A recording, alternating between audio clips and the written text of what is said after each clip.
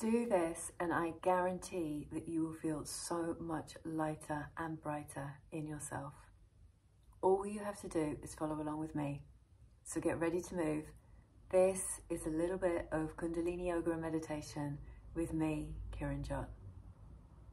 I've asked you to, you know, really bring up your stories, particularly your negative stories about what you, um, how you communicate with yourself, the voices in your head. There's the voice of the soul, or the voice of your higher power, as you wish, and the voice of the ego. And I always say to people, I quote my one of my teachers, brilliant, absolutely brilliant. Ego is when you are living somebody else's life. Society's pressures on what you should be doing, perhaps your parents, you know, the story from your childhood, whatever has influenced you perhaps to be doing the things that you do, or perhaps judging yourself harshly. This is what I did. I judged myself really harshly for years for not fitting in, for not being married, for not having a mortgage, for being single, you know, blah, blah, blah, blah, blah, single mother. I gave myself such a hard time. And I felt like a failure. Like, it's actually only in the last couple of years I've, that I've stopped feeling like a failure. That was a huge story that I managed to put down in the pandemic. So, this is all these kind of behaviors undermine your belief in yourself and undermine your capacity to receive. Perhaps that's what I believe. Okay, but it's just a concept to kind of play around with. You don't have to believe it, you just play around with it. Hmm, do I agree with that? Anyway, what I thought we'd do today is we're going to do something quite. Um, we're going to do something quite strong to start with, and we're going to comb. Okay, this is strong, strong, strong, strong. Okay, but we're going to comb through the hair like you are pulling out all of those stories. Okay, now it's one of those Kundalini long ones. All right, so you just do your very best because we're going to do this for 11 minutes. Uh, no, 11 minutes. Oh, it's not that bad. It's still pretty, still pretty tough. Nine minutes. Okay, and it's done with breath of fire. So activating our navel center. Powerfully. And if you can't do the arms you can you can still do the um the breath. So just do your best. you ready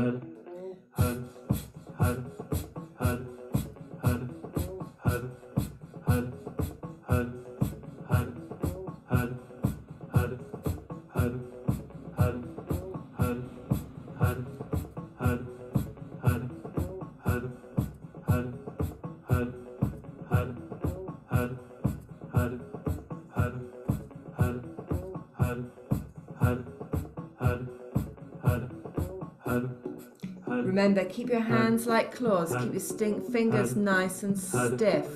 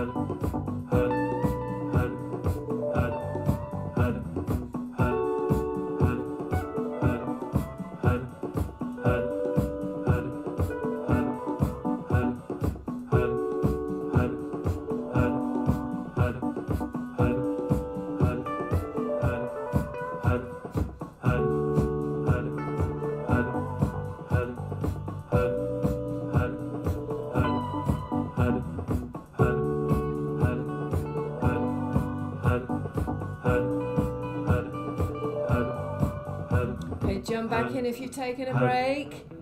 Got the grand finale. Okay, stick your tongue out like Kali. Yeah? As wide, as long as possible. Make your tongue as long as possible.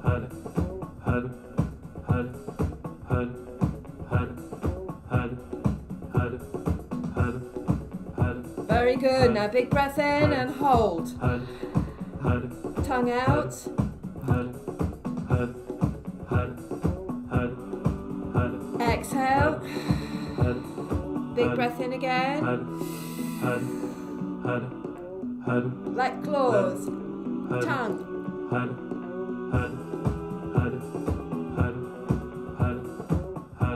Exhale. One more time. Big breath in.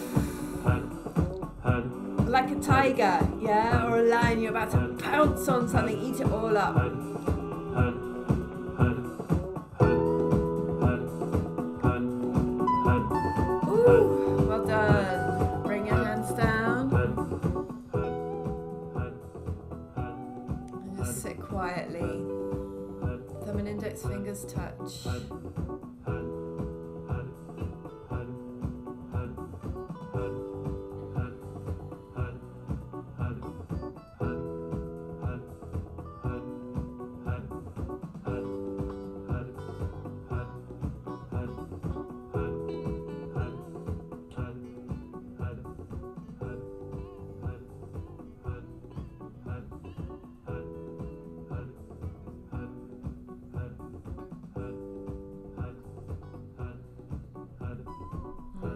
Beyond the body, beyond the mind.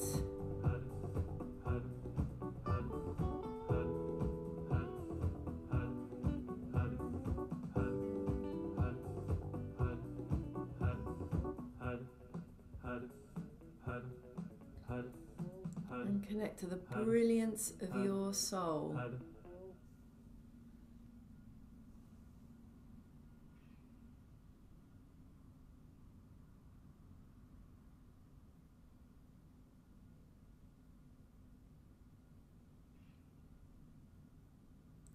Your light, your sparkle.